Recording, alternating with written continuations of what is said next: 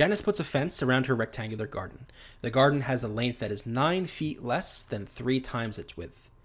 What is the perimeter of Janice's fence if the area of her garden is 5,670 square feet? So we are given dimensions. Let's go ahead and just draw out what this garden might look like. So let's have a width and a length. Just an approximate picture. Maybe it turns out that the width is longer than the length. It doesn't really matter. So here's our width, here's our length. We're told that the garden has a length that is nine feet less than three times its width. So we need to come up with some expressions that will give us the length and the width, preferably in terms of one variable. I suppose you could do it in terms of two, but it's better to do it in terms of one. So I recommend let's call this W. And if we call the width W, what would the length be? Well, the length is nine feet less than three times its width. So it's going to be three times its width, and then we subtract nine because it's nine less than three times that width. We also know that the area is 5,670 and we want to know the perimeter. So we basically need to get the lengths of these sides, and then we just add up the four sides to get the perimeter. But getting the W is the is the key here. So we can set up an equation: W times 3W minus 9, right? Length times width should equal 5,670. So let's do that. W times 3W minus 9 equals this. Now we'll distribute 3W squared minus 9W and I'm going to bring the 5,670 over by subtracting 5,670 from both sides. So I get this, and I believe 5,670 is divisible by 3. It is. So I'm going to divide both sides by 3 just to simplify this a little bit.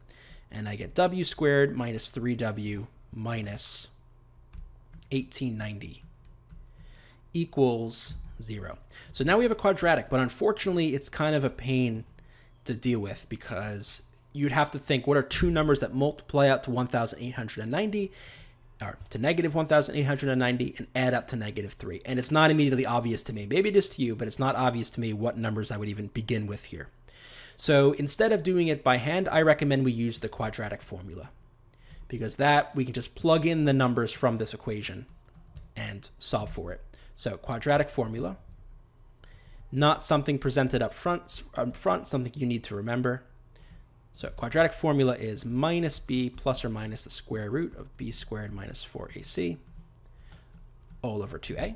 So now we're going to plug in our numbers here. In this case, we'll actually call this equals w. So let's see what we get. So w is going to equal 3 plus or minus the square root of 9, right? Negative 3 squared minus 4 times 1 times negative 1890. And this is all over 2a, so 2 times 1, which is 2. So now we just got to figure out what's in this radical here.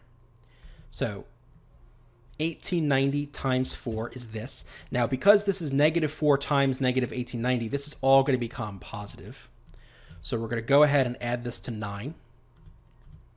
So 9 plus 7, 560. Let's square root it and hope we get something good. Great, 87. So we get 3 plus or minus 87 over 2.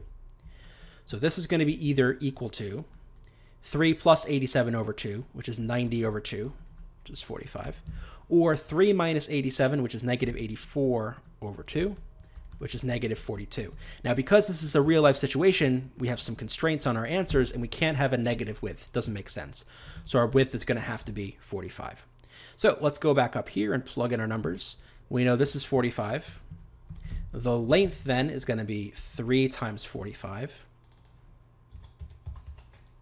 minus 9 gets us 126. We know this is 126, we know this is 45, and now to get the answer, which is the perimeter, we add these all up. So 45 plus 45 is 90. 90 plus 126 plus 126 is 232. Wait, did I do that again. 90 plus 126 plus 126. There we go. 342. And that would be choice A. To learn more about Reason Prep's SAT, SAT subject test, and ACT video courses, go to reasonprep.com slash enroll, and you can find the link in the description below the video.